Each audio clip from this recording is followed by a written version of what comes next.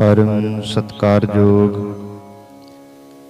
ਗੁਰੂ ਰੂਪ, ਗੁਰੂ ਪਿਆਰੀ, ਗੁਰੂ ਖਾਲਸਾ, ਸਾਧ ਸੰਗਤ ਜੀ, ਆਓ।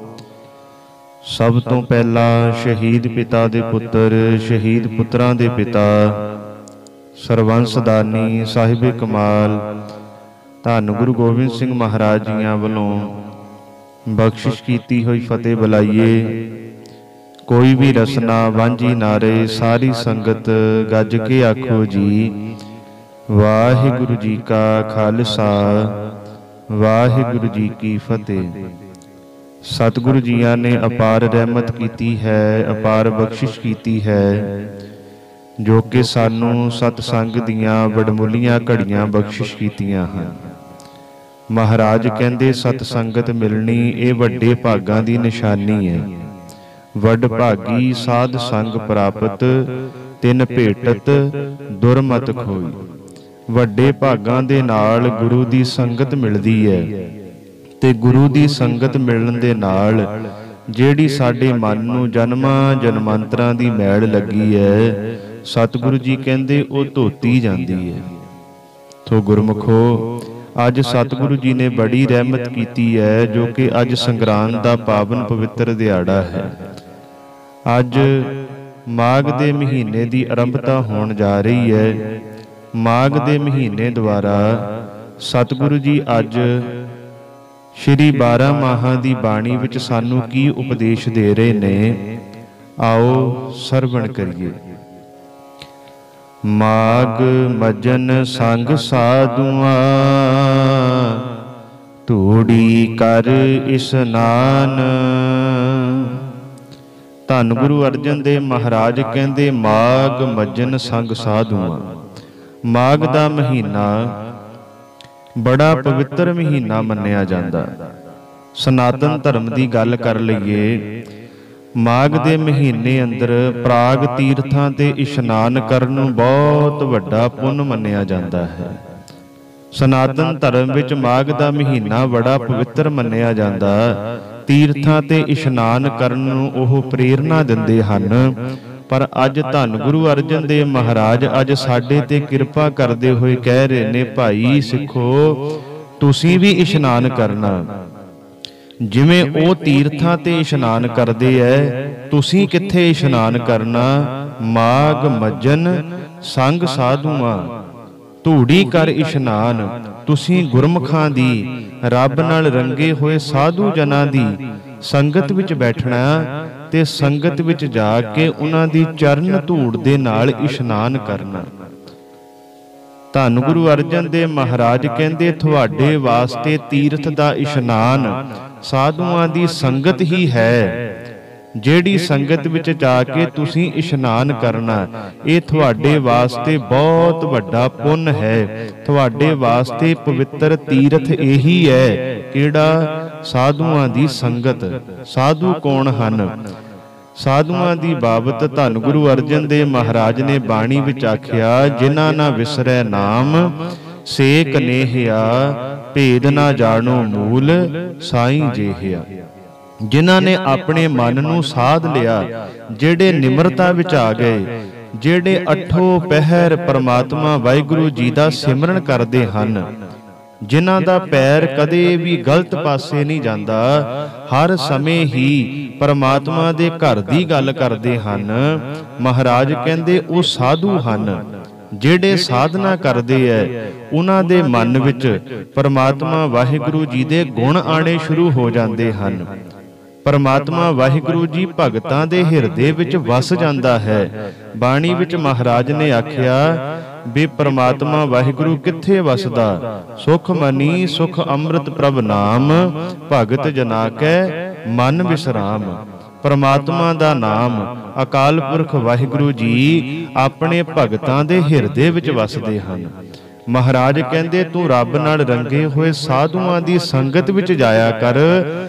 ਉਹਨਾਂ ਦੀ ਸੰਗਤ ਵਿੱਚ ਜਾ ਕੇ ਉਹਨਾਂ ਦੇ ਬਚਨ ਸੁਣ, ਇਹੀ ਤੇਰੇ ਵਾਸਤੇ ਤੀਰਥ ਹੈ, ਇਹੀ ਤੇਰੇ ਵਾਸਤੇ ਪੁੰਨ ਹੈ, ਮਾਘ ਦੇ ਮਹੀਨੇ ਦਾ ਸਭ ਤੋਂ ਵੱਡਾ ਪੁੰਨ।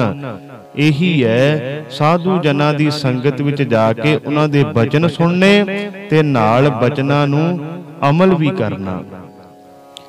ਹਰ ਕਾ ਨਾਮ ਧਿਆਏ ਸੁਣ। ਸਭਨਾ ਨੂੰ ਕਰ ਦਾਨ। ਹਰ ਕਾ ਨਾਮ ਧਿਆਏ ਸੁਣ। ਸਾਧੂ ਜਨਾਂ ਦੀ ਸੰਗਤ ਵਿੱਚ ਜਾ ਕੇ ਮਹਾਰਾਜ ਕਹਿੰਦੇ, ਪਰਮਾਤਮਾ ਦੇ ਨਾਮ ਨੂੰ ਧਿਆ ਆਰਾਧਨਾ ਕਰ। ਆਪਣੇ ਮੁਖ ਰਾਹੀਂ ਬੋਲ। ਜਿਹੜੀ ਚੀਜ਼ ਮੁਖ ਰਾਹੀਂ ਬੋਲ ਰਿਹਾ, ਉਹ ਹਿਰਦੇ ਵਿੱਚ ਵੀ ਲੈ ਕੇ ਜਾ। ਉਹ ਮਨ ਤੱਕ ਵੀ ਲੈ ਕੇ ਜਾ। ਤੇ ਜਿਹੜੀ ਚੀਜ਼ ਆਪਣੇ ਮੁਖ ਰਾਹੀਂ ਬੋਲ ਰਿਆ ਸਤਿਗੁਰੂ ਜੀ ਕਹਿੰਦੇ ਉਹਨੂੰ ਕੰਨਾਂ ਰਾਹੀਂ ਸੁਣ ਵੀ। ਪਰਮਾਤਮਾ ਦਾ ਨਾਮ ਸੁਣ। ਹਰ ਸਮੇਂ ਪਰਮਾਤਮਾ ਵਾਹਿਗੁਰੂ ਜੀ ਨੂੰ ਚੇਤੇ ਰੱਖ ਤੇ ਨਾਲ ਕੀ ਕਰ? ਸਭਨਾ ਨੂੰ ਕਰਦਾਨ। ਜਿਹੜਾ ਤੂੰ ਨਾਮ ਜਪ ਰਿਆ ਤੂੰ ਪਰਮਾਤਮਾ ਵਾਹਿਗੁਰੂ ਜੀ ਦੀ ਸਿਫਤ ਸਲਾਹ ਕਰ ਰਿਆ ਇਹ ਤੂੰ ਹੋਰਨਾਂ ਨੂੰ ਵੀ ਵੰਡ। ਹੋਰਨਾਂ ਨੂੰ ਵੀ ਦਾਨ ਕਰ। ਮੈਂ ਬੜੀ ਵਾਰ ਅਰਜ਼ ਕਰਦਾ ਹੁੰਨਾ ਜੇ ਦੁਨੀਆ ਦਾ ਸਭ ਤੋਂ ਵੱਡਾ ਕੋਈ ਪੁੰਨ ਹੈ ਉਹ ਇਹੀ ਹੈ ਵਿਛੜੇ ਹੋਏ ਨੂੰ ਪਰਮਾਤਮਾ ਵਾਹਿਗੁਰੂ ਜੀ ਦੇ ਨਾਲ ਜੋੜ ਦੇਣਾ। ਜਿਹੜਾ ਪਰਮਾਤਮਾ ਵਾਹਿਗੁਰੂ ਦੇ ਚਰਨਾਂ ਨਾਲੋਂ ਟੁੱਟਿਆ ਹੋਇਆ ਜਿਹਨੂੰ ਪਰਮਾਤਮਾ ਵਾਹਿਗੁਰੂ ਜੀ ਦਾ ਨਾਮ ਚੇਤੇ ਨਹੀਂ ਆਉਂਦਾ। ਜੇ ਕਿਤੇ ਅਸੀਂ ਉਹਨੂੰ ਪਰਮਾਤਮਾ ਵਾਹਿਗੁਰੂ ਜੀ ਦੇ ਲੜ ਲਾ ਦਈਏ ਇਹ ਤੋਂ ਵੱਡਾ ਕੋਈ ਪੁੰਨ ਨਹੀਂ ਹੈ। ਤੇ ਦੁਨੀਆ ਦਾ ਸਭ ਤੋਂ ਵੱਡਾ ਪਾਪ ਕੀ ਹੈ? ਦੁਨੀਆ ਦਾ ਸਭ ਤੋਂ ਵੱਡਾ ਪਾਪ ਵੀ ਇਹੀ ਹੈ। ਪਰਮਾਤਮਾ ਵਾਹਿਗੁਰੂ ਜੀ ਦੇ ਨਾਲ ਜੁੜੇ ਹੋਏ ਨੂੰ ਪਰਮਾਤਮਾ ਨਾਲੋਂ ਤੋੜ ਦੇਣਾ ਇਹ ਤੋਂ ਵੱਡਾ ਕੋਈ ਪਾਪ ਨਹੀਂ ਹੈ। ਬਾਣੀ ਵਿੱਚ ਮਹਾਰਾਜ ਕਹਿੰਦੇ ਕੱਲ ਮੈਂ ਇਹੋ ਪੁੰਨ ਗੁਣ ਗੋਬਿੰਦ ਗਾਹੇ। ਕਲਯੁਗ ਦੇ ਸਮੇਂ ਵਿੱਚ ਸਭ ਤੋਂ ਵੱਡਾ ਪੁੰਨ ਹੈ ਅਕਾਲ ਪੁਰਖ ਵਾਹਿਗੁਰੂ ਜੀ ਦਾ ਨਾਮ ਜਪਣਾ। ਅੱਜ ਧੰਨ ਗੁਰੂ ਅਰਜਨ ਦੇਵ ਮਹਾਰਾਜ ਸਾਡੇ ਤੇ ਕਿਰਪਾ ਕਰਦੇ ਹੋਏ ਸਾਨੂੰ ਸਮਝਾਉਂਦੇ ਹੋਏ ਕਹਿ ਰਹੇ ਹਨ, ਹਰ ਕਾ ਨਾਮ ਧਿਆਏ ਸੁਣ, ਐ ਭਾਈ ਸੰਤ ਜਨਾਂ ਦੀ, ਗੁਰਮੁਖਾਂ ਦੀ ਸੰਗਤ ਵਿੱਚ ਜਾ ਕੇ ਪਰਮਾਤਮਾ ਦਾ ਨਾਮ ਜਪਿਆ ਕਰ। ਪਰਮਾਤਮਾ ਦੇ ਸਿਫਤ ਸਲਾਹ ਦੀਆਂ ਗੱਲਾਂ ਨੂੰ ਆਪਣੇ ਕੰਨਾਂ ਦੇ ਨਾਲ ਸੁਣਿਆ ਕਰ। ਸਭਨਾ ਨੌਕਰ ਤੇ ਇਹ ਸਾਰਿਆਂ ਨੂੰ ਦਾਤ ਤੂੰ ਵੀ ਵੰਡ, ਤੂੰ ਵੀ ਪਰਮਾਤਮਾ ਦੇ ਲੜ ਹੋਰਨਾਂ ਨੂੰ ਵੀ ਲਾ। ਜੇ ਤੂੰ ਪਰਮਾਤਮਾ ਦੇ ਲੜ ਲਾਏਗਾ ਨਾ, ਉਹਦੀ ਬਾਬਤ ਮਹਾਰਾਜ ਕਹਿੰਦੇ ਗੁਰਮੁਖ ਲਾਹਾ ਲੈ ਗਏ। ਗੁਰਮੁਖ ਇਨਸਾਨ ਦੁਨੀਆ ਵਿੱਚੋਂ ਲਾਹਾ ਖੱਟ ਕੇ ਜਾਂਦੇ, ਲਾਹਾ ਕੀ ਖੱਟ ਕੇ ਜਾਂਦੇ ਐ? ਭੁੱਲੇ ਭਟਕਿਆਂ ਹੋਇਆਂ ਨੂੰ ਰੱਬ ਨਾਲ ਜੋੜ ਕੇ ਜਾਂਦੇ ਐ। ਉਹਨਾਂ ਦੀ ਬਾਬਤ ਮਹਾਰਾਜ ਨੇ ਬਾਣੀ ਵਿੱਚ ਆਖਿਆ, ਜਨਮ ਮਰਨ ਦੋਹੋਂ ਮੈਂ ਨਾਹੀ, ਜਨ ਪਰ ਉਪਕਾਰੀ ਆਏ, ਜੀ ਦਾਨ ਦੇ ਭਗਤੀ ਲਾਇਨ, ਹਰ ਸਿਉ ਲੈਨ ਮਿਲਾਏ। ਜਿਹੜੇ ਆਪ ਨਾਮ ਜਪਦੇ ਐ ਹੋਰਨਾਂ ਨੂੰ ਨਾਮ ਜਪਾਉਂਦੇ ਐ ਮਹਾਰਾਜ ਕਹਿੰਦੇ ਉਹ ਜਨਮ ਮਰਨ ਤੋਂ ਰਹਿਤ ਹੋ ਜਾਂਦੇ ਹਨ। ਉਹ ਅਮਰ ਹੋ ਜਾਂਦੇ ਹਨ। ਜਨਮ ਕਰਮ ਮਲ ਉਤਰੈ ਮਨ ਤੇ ਜਾਏ ਗੁਮਾਨ। ਜਨਮ ਕਰਮ ਮਲ ਉਤਰੈ। ਪਰਮਾਤਮਾ ਵਾਹਿਗੁਰੂ ਜੀ ਦਾ ਨਾਮ ਜਪਦੇ ਜਪਦੇ, ਪਰਮਾਤਮਾ ਦੀਆਂ ਸਿਫਤ ਸਲਾਹ ਦੀਆਂ ਗੱਲਾਂ ਸੁਣਦੇ ਸੁਣਦੇ ਆ ਸਾਡੇ ਜਨਮ ਨੂੰ, ਆ ਸਾਡੇ ਮਨ ਨੂੰ ਜਿਹੜੀ ਜਨਮਾਂ ਜਨਮਾਂਤਰਾਂ ਦੀ ਮੈਲ ਲੱਗੀ ਹੋਈ ਹੈ ਸਾਡੇ ਮਨ ਨੂੰ ਵਿਕਾਰਾਂ ਦੀ ਮੈਲ ਹੈ ਮਹਾਰਾਜ ਕਹਿੰਦੇ ਇਹ ਵਿਕਾਰਾਂ ਦੀ ਮੈਲ ਧੋਤੀ ਜਾਏਗੀ। ਸੰਗਤ ਵਿੱਚ ਆ ਕੇ ਇਨਸਾਨ ਦੇ ਵਿਕਾਰਾਂ ਦੀ ਮੈਲ ਧੋਤੀ ਜਾਂਦੀ ਹੈ ਮਨ ਪਵਿੱਤਰ ਹੋ ਜਾਂਦਾ। ਇਸੇ ਕਰਕੇ ਮਹਾਰਾਜ ਕਹਿੰਦੇ ਤੂੰ ਸਤ ਸੰਗਤ ਕਰਿਆ ਕਰ। ਰੱਬ ਨਾਲ ਜੁੜੇ ਹੋਏ ਸੰਤਾਂ ਦੀ ਸੰਗਤ ਵਿੱਚ ਆਇਆ ਕਰ। ਗੁਰਮੁਖਾਂ ਦੀ ਸੰਗਤ ਵਿੱਚ ਬੈਠਿਆ ਕਰ। ਨਾਸਤਕ ਇਨਸਾਨ ਦੀ ਸੰਗਤ ਭੁੱਲ ਕੇ ਨਾ ਕਰੀ ਸਾਖਤ ਸੰਗ ਨਾ ਕੀਜੀਐ। ਦੂਰ ਰਹਿ ਜਾਈਏ ਭਾਗ, ਸਾਖਤ ਪੁਰਸ਼ ਦੀ ਸੰਗਤ ਨਾ ਕਰੀ, ਰੱਬ ਨਾਲ ਜੁੜੇ ਹੋਏ ਦੀ ਸੰਗਤ ਕਰੇਗਾ, ਤਾਂ ਤੇਰੇ ਮਨ ਵਿੱਚੋਂ ਵਕਾਰਾਂ ਦੀ ਮੈਲ ਦੂਰ ਹੋ ਜਾਏਗੀ, ਪਾਪਾਂ ਦੀ ਮੈਲ ਦੂਰ ਹੋ ਜਾਏਗੀ। ਮਨ ਤੇ ਜਾਏ ਗੁਮਾਨ, ਤੇਰੇ ਮਨ ਨੂੰ ਜਿਹੜਾ ਹੰਕਾਰ ਚੁੰਬੜਿਆ ਹੋਇਆ, ਇਹ ਹੰਕਾਰ ਵੀ ਤੇਰੇ ਮਨ ਤੋਂ ਦੂਰ ਹੋ ਜਾਏਗਾ ਹੋਮੇ ਦੀ ਮੈਲ ਵੀ ਦੂਰ ਹੋ ਜਾਏਗੀ। ਕਾਮ ਕਰੋਧ ਨ ਮੋਹੀਐ। ਬਿਨ ਸੈ ਲੋਭ ਸੁਆਨ। ਕਾਮ ਕ੍ਰੋਧ ਨਾ ਮੋਹੀਐ। ਮਹਾਰਾਜ ਕਹਿੰਦੇ ਜਿਹੜੇ ਨਾਮ ਜਪਦੇ ਐ, ਜਿਹੜੇ ਪਰਮਾਤਮਾ ਦੀ ਅਰਾਧਨਾ ਕਰਦੇ ਹਨ, ਉਹਨਾਂ ਨੂੰ ਕਾਮ ਅਤੇ ਕ੍ਰੋਧ, ਮੋਹ ਨਹੀਂ ਸਕਦਾ, ਠੱਗ ਨਹੀਂ ਸਕਦਾ। ਉਹ ਕਾਮ ਵਿੱਚ ਨਹੀਂ ਫਸਦੇ, ਕ੍ਰੋਧ ਵਿੱਚ ਨਹੀਂ ਫਸਦੇ। ਕ੍ਰੋਧੀ ਬੰਦਾ ਕਦੋਂ ਹੁੰਦਾ, ਕਾਮੀ ਬੰਦਾ ਕਦੋਂ ਹੁੰਦਾ? ਜਦੋਂ ਉਹਨੂੰ ਪਰਮੇਸ਼ਰ ਦੀ ਯਾਦ ਭੁੱਲ ਜਾਂਦੀ ਹੈ, ਪਰਮੇਸ਼ਰ ਦਾ ਚੇਤਾ ਭੁੱਲ ਜਾਂਦਾ ਹੈ। ਤੇ ਜਿਹਨੂੰ ਰੱਬ ਦੀ ਯਾਦ ਰਹਿੰਦੀ ਹੈ ਉਹ ਸਦਾ ਹੀ ਰੱਬ ਦੇ ਰੰਗ ਵਿੱਚ ਰੰਗਿਆ ਰਹਿੰਦਾ। ਉਹਨੂੰ ਕਾਮ, ਕ੍ਰੋਧ, ਮੋਹ ਨਹੀਂ ਸਕਦੇ। ਉਹਨੂੰ ਠੱਗ ਨਹੀਂ ਸਕਦੇ। ਬਿਨਸੈ ਲੋਭ ਸੁਵਾਨ ਉਹਨੂੰ ਲੋਭ ਦਾ ਕੁੱਤਾ ਵੀ ਮਹਾਰਾਜ ਕਹਿੰਦੇ ਵੱਢ ਨਹੀਂ ਸਕਦਾ। ਦੇਖੋ, ਲੋਭੀ ਪੁਰਸ਼ ਨੂੰ ਸਤਿਗੁਰ ਨੇ ਕੁੱਤੇ ਦੇ ਨਾਲ ਤੁਲਨਾ ਕੀਤੀ ਹੈ। ਬਾਣੀ ਵਿੱਚ ਮਹਾਰਾਜ ਨੇ ਇਉਂ ਵੀ ਆਖਿਆ, ਜਿਉਂ ਕੂਕਰ ਹਰਕਾਇਆ ਧਾਵੇ ਦਹਿ ਦਿਸ ਧਾਏ, ਲੋਭੀ ਜੰਤ ਨਾ ਜਾਣਈ ਭਖ ਅਭਖ ਸਭ ਖਾਏ। ਮਹਾਰਾਜ ਨੇ ਲੋਭੀ ਪੁਰਸ਼ ਦੀ ਤੁਲਨਾ ਇੱਕ ਹਲਕੇ ਕੁੱਤੇ ਦੇ ਨਾਲ ਕੀਤੀ ਹੈ। ਮਹਾਰਾਜ ਕਹਿੰਦੇ, ਜਿਹੜਾ ਲਾਲਚੀ ਬੰਦਾ, ਉਹ ਹਲਕੇ ਕੁੱਤੇ ਦੇ ਵਾਂਗ ਹੈ। ਜਿਵੇਂ ਹਲਕੇ ਕੁੱਤੇ ਨੂੰ ਮਾਲਕ ਦੀ ਤੇ ਬਾਹਰਲੇ ਵਾਲਿਆਂ ਦੀ ਪਰਵਾਹ ਨਹੀਂ ਹੁੰਦੀ। ਜਿਵੇਂ ਬਾਹਰ ਵਾਲਿਆਂ ਨੂੰ ਵੱਢਦਾ, ਇਸੇ ਤਰ੍ਹਾਂ ਹਲਕਿਆ ਕੁੱਤਾ ਆਪਣੇ ਮਾਲਕ ਨੂੰ ਵੀ ਵੱਢਣ ਲੱਗ ਜਾਂਦਾ। ਇਸੇ ਤਰ੍ਹਾਂ ਲਾਲਚੀ ਪੁਰਸ਼ ਹੈ। ਉਹ ਦੂਸਰੇ ਦੇ ਨਾਲ ਵੀ ਲਾਲਚ ਕਰਦਾ ਤੇ ਆਪਣੇ ਘਰਦਿਆਂ ਦੇ ਨਾਲ ਵੀ ਲਾਲਚ ਕਰਨਾ ਸ਼ੁਰੂ ਕਰ ਦਿੰਦਾ। ਇਹ ਲੋਭੀ ਪੁਰਸ਼ ਦੀ ਨਿਸ਼ਾਨੀ ਹੈ। ਪਰ ਮਹਾਰਾਜ ਕਹਿੰਦੇ, ਜੇ ਤੂੰ ਨਾਮ ਜਪੇਗਾ ਜੇ ਅਕਾਲ ਪੁਰਖ ਵਾਹਿਗੁਰੂ ਜੀ ਦਾ ਸਿਮਰਨ ਕਰੇਗਾ, ਮਾਘ ਦੇ ਮਹੀਨੇ ਵਿੱਚ ਸੰਤ ਜਨਾਂ ਦੀ ਸੰਗਤ ਵਿੱਚ ਜਾਏਗਾ, ਸੰਗਤ ਵਿੱਚ ਜਾ ਕੇ ਇਸ਼ਨਾਨ ਕਰੇਗਾ, ਤਾਂ ਚੇਤੇ ਰੱਖੀ ਤੈਨੂੰ ਲਾਲਚ ਦਾ ਕੁੱਤਾ ਵੱਢ ਨਹੀਂ ਸਕੇਗਾ। ਸੱਚੇ ਮਾਰਗ ਚੱਲਦਿਆਂ ਉਸਤਤ ਕਰੇ ਜਹਾਨ, ਸੱਚੇ ਮਾਰਗ ਚੱਲਦਿਆਂ। ਜਿਹੜਾ ਇਨਸਾਨ ਸਤਿਗੁਰੂ ਜੀ ਕਹਿੰਦੇ ਸੱਚੇ ਮਾਰਗ ਚੱਲਦਾ, ਸੱਚਾ ਮਾਰਗ ਕਿਹੜਾ? ਅਕਾਲ ਪੁਰਖ ਵਾਹਿਗੁਰੂ ਜੀ ਦਾ ਮਾਰਗ, ਭਗਤੀ ਦਾ ਮਾਰਗ, ਬੰਦਗੀ ਦਾ ਮਾਰਗ, ਪਰ ਉਪਕਾਰ ਦਾ ਮਾਰਗ, ਉਹਨੂੰ ਸੱਚਾ ਮਾਰਗ ਕਿਹਾ ਜਾਂਦਾ।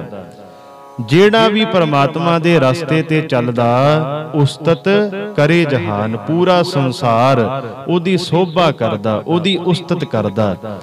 ਤਾਂ ਹੀ ਸਤਿਗੁਰੂ ਜੀ ਨੇ ਬਾਣੀ ਵਿੱਚ ਆਖਿਆ ਐ ਮਨਾ, ਤੂੰ ਮੇਰੇ ਰਸਤੇ ਚੱਲ ਕੇ ਤਾਂ ਵੇਖ, ਤੂੰ ਮੇਰਾ ਨਾਮ ਜਪ ਕੇ ਤਾਂ ਵੇਖ। ਜੇ ਤੂੰ ਮੇਰਾ ਹੋਏ ਰਹੇ, ਸਭ ਜਗ ਤੇਰਾ ਹੋਏ। ਮਹਾਰਾਜ ਕਹਿੰਦੇ, ਤੂੰ ਮੇਰਾ ਬਣ ਜਾ, ਪੂਰਾ ਸੰਸਾਰ ਤੇਰਾ ਬਣ ਜਾਏਗਾ। ਪੂਰਾ ਸੰਸਾਰ ਤੇਰੇ ਚਰਨਾਂ 'ਚ ਝੁਕੇਗਾ। ਤਾਂ ਹੀ ਸਤਿਗੁਰ ਕਹਿੰਦੇ ਸੱਚੇ ਮਾਰਗ ਚਲਦਿਆਂ ਉਸਤਤ ਕਰੇ ਜਹਾਨ।